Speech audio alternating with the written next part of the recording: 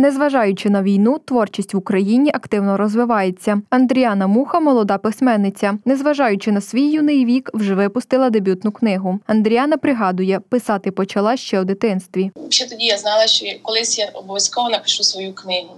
Я була першим редактором шкільної газети в першій школі, і це для мене було було дуже цікаво.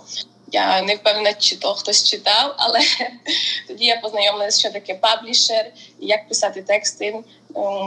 Недавно я подивилася цю газету і побачила скільки там помилок, і ем, як багато мені ще треба тоді було вчитися. У 2020 році Андріана починає свій творчий шлях під псевдонімом Загублена пташка. Також дівчина проводила літературні вечори, де вони разом з однодумцями надихалися та генерували нові творчі ідеї. Чому загублена? Я хочу вам сказати, чому загублена? Бо я постійно себе шукаю.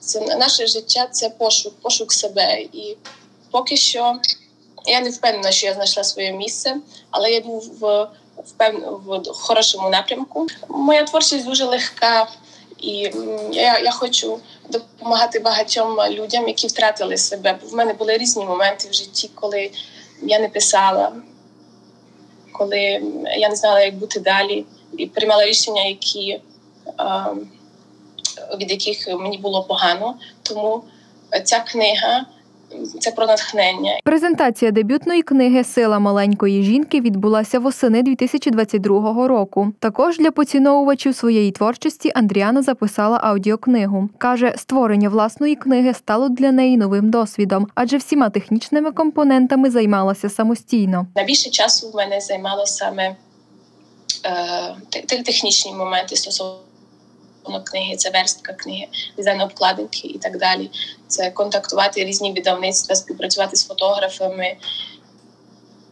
І, над моєю книгою займалася дуже творча людина, яка е, е, Івана Полянська, з якою ми співпрацюємо дотепер, і саме вона буде е, дизайнером наступної книги. Письменниця каже, кожна історія, яка висвітлена у її книзі, пронизана глибокими роздумами, переживанням і натхненням. Мені дуже приємно, що е, в моїй книзі ви знайдете е, фотографії юних мукачівських дівчат, які саме, е, саме образ таких муз надихав мене, і я бачу в них ту сильну жінку, яка у якої немає часу на пусті балачки і безмістовне існування. Андріана ділиться, вже наступного року планує випустити свою другу книгу, над якою вже активно працює, і на власному прикладі доводить, творчість під час війни живе.